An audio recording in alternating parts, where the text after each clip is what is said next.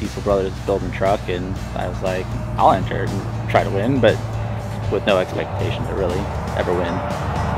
And then Right. you started doing the whole interview thing, and I was like, well, I don't know if I should push this or not, and say like I really need a pickup or not, and all this stuff. And so I was just, I kind of just went with it, I guess.